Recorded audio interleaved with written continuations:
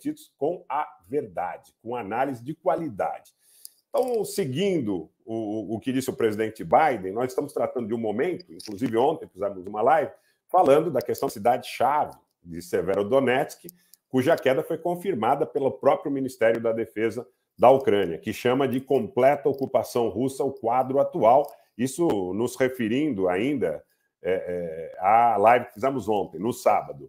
É, é uma região que fica no leste de Lugansk, que está praticamente inteira é, sob o, o controle, administração e domínio russos, e as forças ucranianas parecem ter é, é recuado para a cidade de Lysychansk, que está sofrendo crescentes ataques, basicamente de artilharia. Alguns foguetes também de, de lançadores múltiplos, mas o que eu vejo majoritariamente são ataques de artilharia. No domingo, o chefe da administração militar da região de Donetsk, pelo lado ucraniano, disse que as forças russas estariam reunindo tropas e equipamentos para novos ataques na região. É, na região de Donetsk, ainda a gente tem, eu estava vendo o mapa agora há pouco, uma questão aí de um controle aproximadamente 50-50, se nós nos reportarmos às fronteiras do Oblast de Donetsk.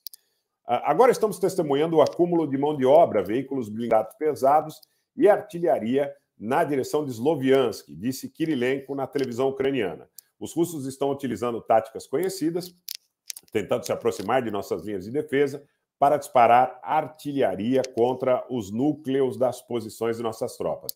A artilharia russa já está chegando a certas partes de Sloviansk. Essa é outra confirmação de que as pessoas devem evacuar imediatamente. Ou seja, no Donbass, os russos vão, conforme estamos adiantando, em inúmeras lives, avançando direto e reto, gente. Direto e reto. Aí não adianta ficar bravo com a gente. Quer dizer, a gente está retratando um fato. Então, se o sujeito entra, e, e, e, fica chateado porque nós estamos retratando um fato, tenta partir para o ad lamento, lamento profundamente, mas nós teremos é, é que continuar reportando o que está acontecendo. Estabeleci assisti ontem A Promessa sobre o Genocídio Armênio, filme incrível e muito esclarecedor. Muito obrigado, Pedro. Meu abraço a você pela lembrança do genocídio armênio, que não pode ser esquecido e que todo ano, no dia 24 de abril, é relembrado este 24 de abril, que em 1915 é a data que marcou, pelo menos para níveis históricos, o extermínio de uma população de quase 2 milhões de armênios que viviam no Império Turco Otomano. E uma situação que até hoje é de alguma forma negada pela Turquia, com versões que são é, bastante distorcidas a respeito da realidade. Falo isso porque tive parentes, é, bisavós é, é e, avós, até como crianças, né? Alguns deles testemunharam tudo, todos esses eventos. Eu tive um bisavô pelo lado do meu avô paterno, foi assassinado nesse genocídio de maneira absolutamente brutal. Em outro momento, eu já comentei algumas coisas, é, é, mas eu quero dizer para você o seguinte: é, é, que em algum momento a gente vai tratar disso de uma maneira mais detalhada para aqueles que ainda não ouviram. Mas vamos voltar aí para o Donbass.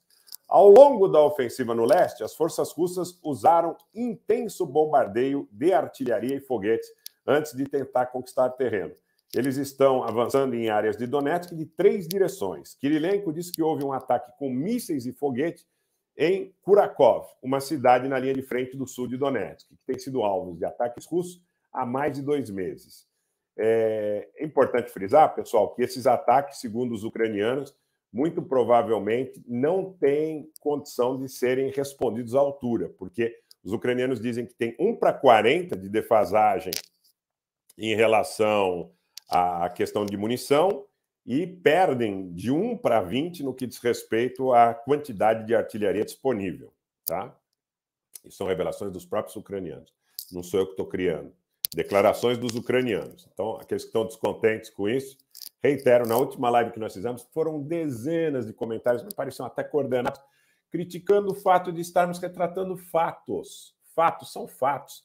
Eu não torço para um lado ou para o outro, mas tenho que, tenho que reportar fatos, gente. É meu compromisso, primeiro com a minha consciência e depois com todos vocês, por uma questão de respeito. É fundamental que isso seja compreendido. À medida em que as forças russas intensificam sua ofensiva no leste da Ucrânia, a cidade de Kharkiv e áreas vizinhas estão novamente sob crescente fogo de artilharia. Kharkiv é a segunda maior cidade da Ucrânia e fica no leste do Dnieper, a 40 quilômetros da fronteira com a Rússia. Eu estimo que em algum momento, dadas as circunstâncias no terreno, que os russos possam tentar uma abordagem em relação a Kharkiv. Entendo, entendo que em algum momento isso possa acontecer e isso efetivamente pode inclusive ter sido um dos objetos de uma possível reunião que teria acontecido na noite de ontem no Kremlin, é, com a presença de Shoigu, com a presença de Patrushev, com a presença de Gerasimov e do próprio presidente Vladimir Putin. Pois bem, pessoal, o próprio Shoigu esteve hoje na Ucrânia. Tem a imagem dele chegando de helicóptero a algum ponto do território ucraniano, está no nosso canal do Telegram, cujo link está na descrição do vídeo e está movimentadíssimo, tá? Movimentadíssimo. Esse vídeo foi divulgado pela agência RIA Novosti e mostra o Shoigu desembarcando do helicóptero em um local que eles não revelam, naturalmente, por questões de segurança, encontrando oficiais dentro do que parece ser um centro de comando e, na realidade, o próprio canal do Ministério da Defesa russo no Telegram disse que o Shoigu ouviu relatórios daqueles comandantes sobre a situação atual no terreno, sobre as necessidades e os problemas encontrados pelas forças russas nas principais áreas operacionais, principalmente na região do Donbass, e em relação a eventuais novos planos para as operações que estão acontecendo dentro da Ucrânia. O Shoigu, que também foi visto conferindo medalhas a vários soldados. Mostrou a Ria Novosti imagens do Shoigu entregando ali diplomas, medalhas em cerimônias ali aonde estavam congregados vários oficiais russos. Vários oficiais russos foram objetos nesse domingo de homenagens por parte do ministro da Defesa russo Sergei Shoigu. O Shoigu entregou as chamadas medalhas douradas do herói da Federação Russa, e a Ordem da Coragem. É, isso estava exposto no Telegram do Ministério da Defesa russo. Não está claro, naturalmente, quais foram os locais visitados, uma vez que, uma vez que é, é uma questão de segurança que a gente compreende perfeitamente.